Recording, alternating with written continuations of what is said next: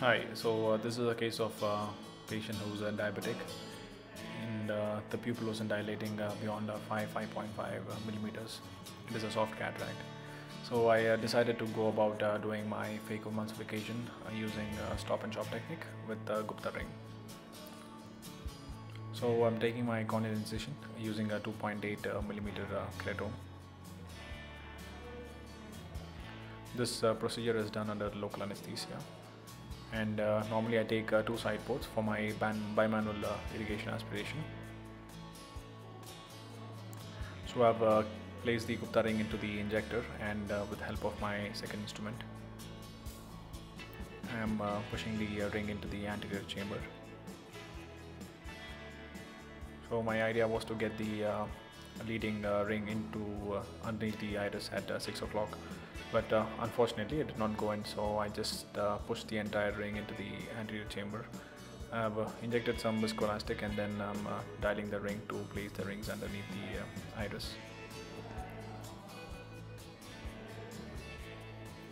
So with the help of my uh, second instrument I try to adjust the ring underneath the iris and between each step I inject some viscoelastic to protect the endothelium and keep the anterior chamber deep.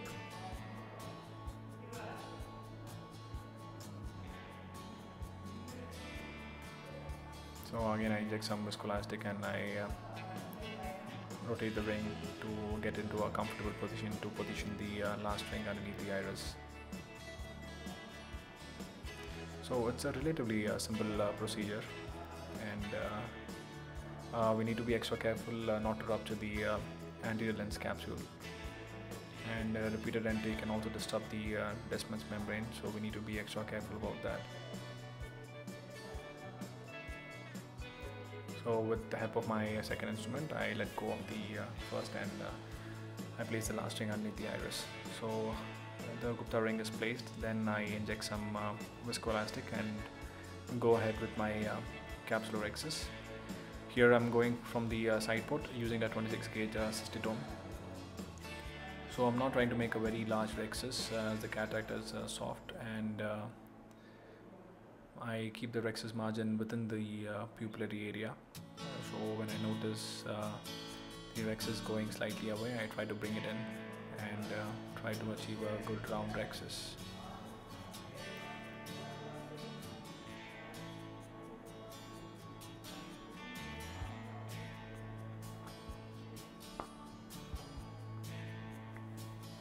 So a good uh, hydrodissection is uh, important. As you can see the fluid wave uh, passing from underneath the uh, lens and then I push the lens to reduce the intralenticular pressure. And uh, here what I do is I inject some viscoelastic and uh, from the uh, side port with the help of a dialer I check for the nucleus rotation to make sure that I've had a good uh, hydrodissection. So once I'm satisfied with my uh, nucleus rotation I go ahead with my phacoemulsification. So uh, stop and chop technique is the preferred technique for cases with uh, soft cataracts. So here uh, my aim is to achieve a good uh, deep uh, trench. I'm not trying to go all the way towards the uh, 6 o'clock position. So what I do is uh, I get um, I, I achieve a good uh, trench on one half and then I rotate the nucleus uh, 180 degrees and get the trench on the other half.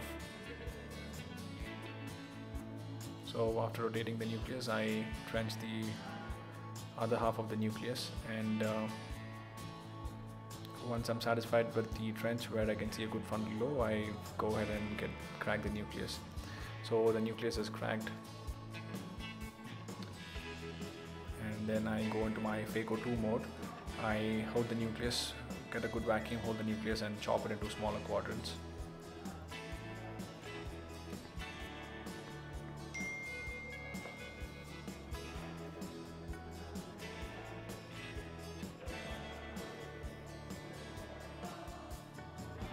When one half of the uh, nucleus is uh, emulsified, I rotate the nucleus 180 degrees towards the uh, phaco needle and chop the other half of the nucleus.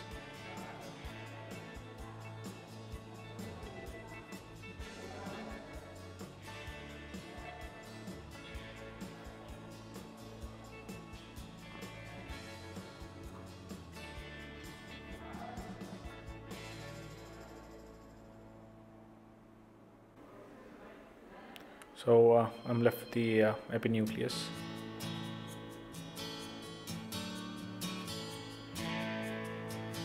So we need to be extra careful in uh, this step as uh, the chances of causing a PCL event is uh, highest during uh, this step.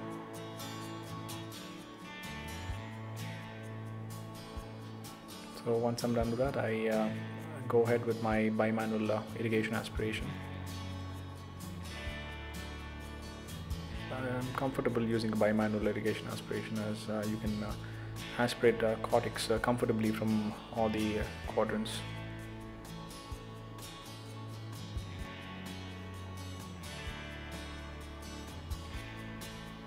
So I change the ports and then go from the other end and try to aspirate from the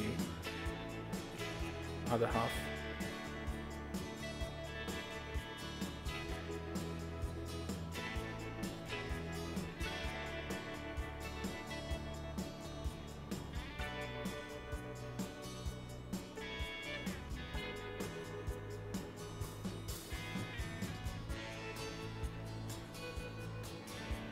So here there was some uh, cortex left at uh, 6 o'clock. So uh,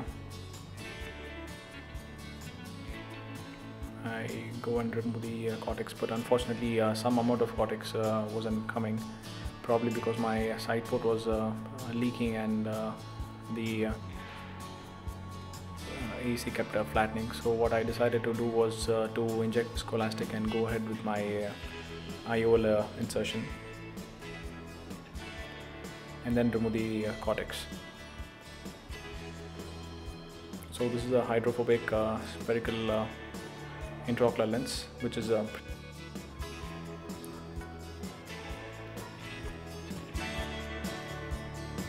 so with the help of my second instrument, I push the intraocular lens into the uh, bag.